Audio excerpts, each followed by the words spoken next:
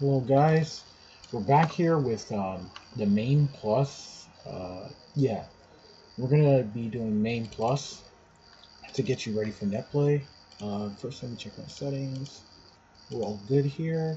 This shouldn't actually take too long because everything comes packaged. Remember, so you would want to start up MAME, and the first thing you do is, even though you see everything green here, ignore this. Go straight to option, go to directories, and navigate where it is.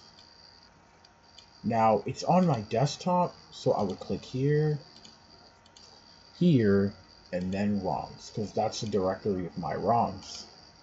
I'll hit OK, and then it'll start scanning all the ROMs in there.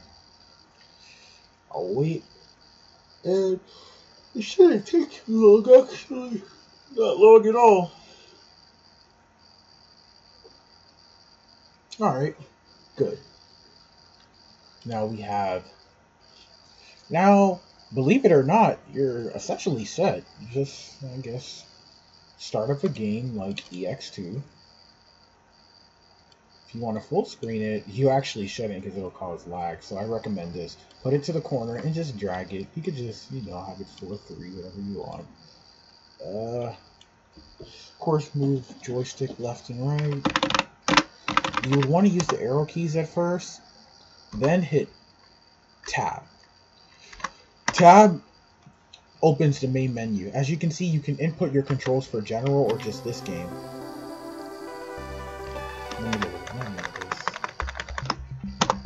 Now, if I want to hit player one, example, this is where I would set my controls. One, two, three, four, five, six. Pretty much you're good there. One, two, three, four, five, six, which would be light punch, medium punch, heavy punch, light kick, medium heavy kick. How it's pretty much laid out in the arcade would be how the buttons are. Like if it's tag tournament two, this would be like left punch, right punch, and then assist. Then no, left punch, right punch, assist, left kick, right kick, assist. So pretty much how it's laid out in the arcades. And um, pretty much that's it. So of course you have all this, you know, then you hit escape, you leave. Now for netplay, it's actually very easy.